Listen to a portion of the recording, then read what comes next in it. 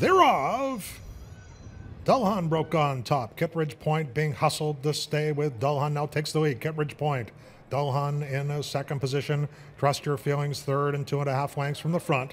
Then a lot of shaking going on. Who's outside in fourth and three lengths off the lead, followed by Molinaro Promesa, by Rossini, by by Puzzle Dream has one horse beaten. That is a T Ruckus. The quarter was 22 and two. Less than two and a half furlongs to go. Kittredge Point under a snug hold by Gerry Olguin.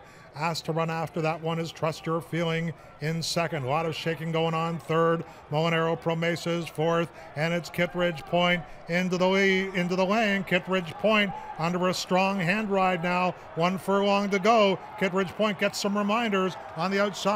Trust Your Feeling. Molinero Promesa. A lot of shaking going on. Kittredge Point trying to hold on. Trust Your Feeling surging, but not in time. Kittredge Point did it.